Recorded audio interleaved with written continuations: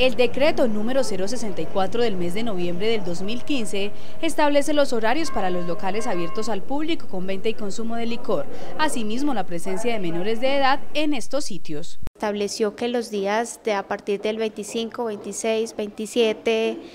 y en los días del 31 al 3 de enero va a estar hasta las 4 de la mañana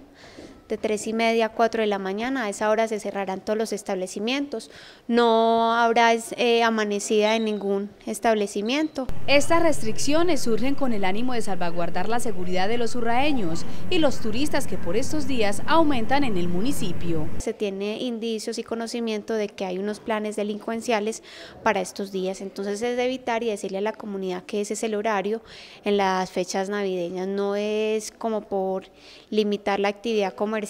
ni por control a otros, no, es porque hay unas medidas de protección y de seguridad que solicita la policía y el ejército. En años anteriores, las riñas y los hurtos han sido algunos de los antecedentes que impulsan a las autoridades a tomar estas medidas de precaución. Eh, hemos tenido riñas, por eso también se va a evitar como que a la hora de, del cierre la gente se empiece a tumultar o a acumular y hacer desórdenes en el parque principal, que es lo que sucede en las amanecidas.